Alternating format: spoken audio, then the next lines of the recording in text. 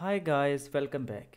In this video, I'm going to represent a majestic bird, saddle-billed stork. The saddle-billed stork is a bird with an elegant bill. The bill is long and curved and it has a distinctive red and black beard near the tip. The stork is a large bird measuring up to 5 feet tall. It has a black back and wings and a white belly. The neck and legs are long and bare, and the toes are webbed. The stork's diet consists of fish, amphibians, reptiles, and small mammals. The saddle-billed stork is found in Africa, where it inhabits wetlands. The stork is a migratory bird and it typically breeds in marshes and river banks.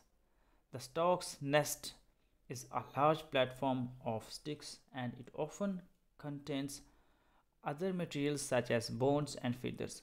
The stork often uses its bill to poke around in the mud for food.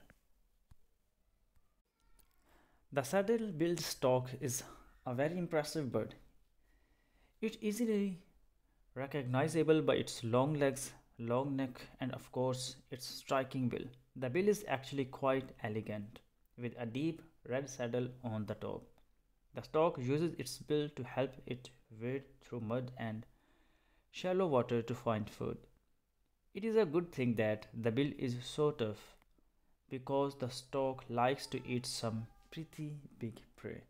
Some of the things that the saddle-bill stork likes to eat are turtles, frogs, snakes, and even small mammals.